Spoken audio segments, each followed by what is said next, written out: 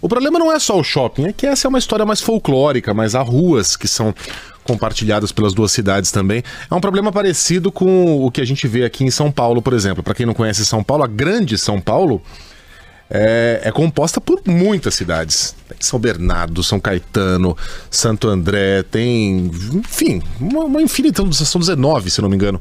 É, e é, é difícil você dizer onde termina uma e começa a outra. Porque é tudo um grande amontoado urbano. Conurbação. É, você só. Exato. Essa é da sétima série, hein, é? carinha? Uhum. Você só repara que trocou de cidade porque a identidade visual do mobiliário urbano muda, o, o, o estilo de fonte usado nas placas, mas na prática é a mesma cidade.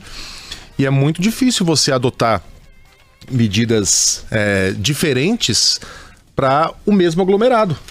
Por que é que Votorantim tem uma política, Sorocaba tem outra, se é tudo basicamente a mesma coisa, a pessoa que mora numa cidade trabalha na outra, a pessoa que mora na outra trabalha numa. O que me chamou a atenção é o fato de um, um shopping center ter dois CEPs, Sheila.